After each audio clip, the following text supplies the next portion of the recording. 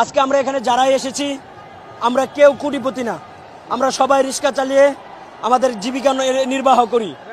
আজকে পেটের দায়ে ফ্যামিলির ভরণ পোষণের কারণে আমরা অনেক শিক্ষিত ছাত্র সমাজ আজকে রিক্সা চালাই। লোক লজ্জার বয় আমরা বলতে পারি না।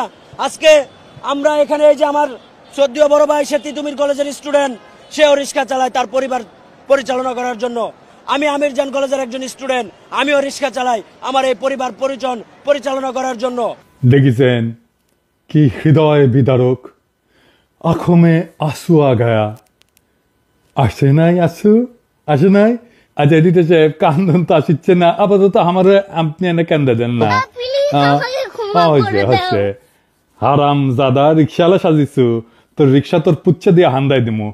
এর নাম আশরাফুল খান। এই যে দেখেন ছাত্রলীগের খিলক্ষেত তেতাল্লিশ নাম্বার ওয়ার্ড শাখার সহসভাপতি। যার নাই কোনো গতি, সে হয় সহসভাপতি। এইটা সাহেব দেখানোর কাজ কামগুলো দেখান না। ওই যে সহসভাপতি সেটাও দেখান। দেখেন না, ওর আওয়ামী লীগের কাজ কাম ওই যে রিক্সাওয়ালা সাজিছে কত বড় মিথ্যা কথা কয়।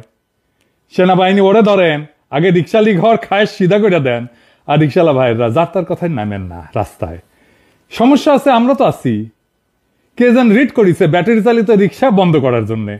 প্রধান বিচারপতি, এটা আপনারে কইতেছি, এইসব রিট পিট যেন গ্রহণ করা না হয়। এই সমস্ত দরিদ্র বিরোধী পদক্ষেপ শুরুতেই বন্ধ করে দেওয়া উচিত। ব্যাটারি চালিত রিক্সা থাকবে। কেউ এটা বন্ধ করতে পারবে না, কারও ক্ষমতা নাই। কেউ যেন বন্ধ করার চেষ্টা না করে। ব্যাটারি চালিত রিক্সা বন্ধ করলে আমি করলে ঢাকা শহরে তো আগুন জ্বালায় দিব। আদালতেও আগুন জ্বালায় দিব। আগে সাবধান করে দিলাম। যুক্তি তর্ক পরে শুনব। আগে আগুন জ্বালাবো, তারপরে যুক্তি চুক্তি ফাজলামও বন্ধ করবেন। এটা যেহেতু আদালত দিয়ে করিচ্ছে, সেজন্য আপনাকে কইলাম।